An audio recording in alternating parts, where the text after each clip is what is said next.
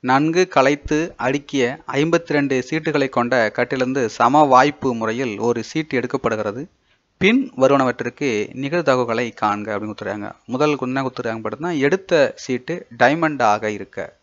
அப்போ இதில் பார்த்தீங்கன்னா n of S equal to ஐம்பத்தி இரண்டு.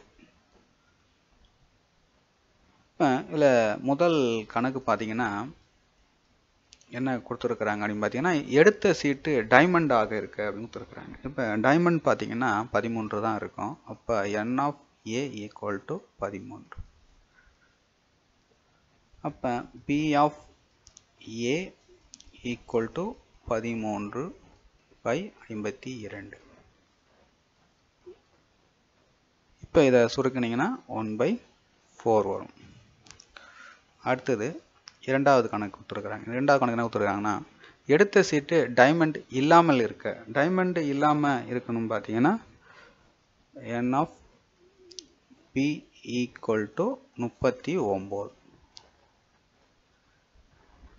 இப்போ P of B equal to முப்பத்தி ஒன்பது பை ஐம்பத்தி இரண்டு equal to three by four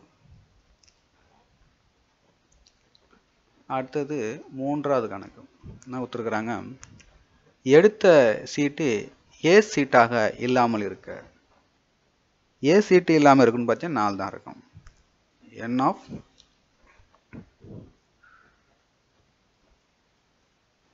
C equal to நான்கு.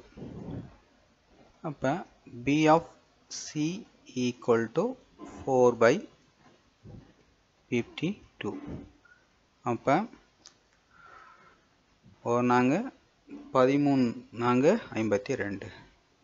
ஓகே ஃப்ரெண்ட்ஸ் இந்த வீடியோ பிடிச்சிருந்தால் லைக் பண்ணுங்கள் கமெண்ட் பண்ணுங்கள் ஷேர் பண்ணுங்கள் நம்ம அடுத்த சந்திப்போம். நன்றி வணக்கம்.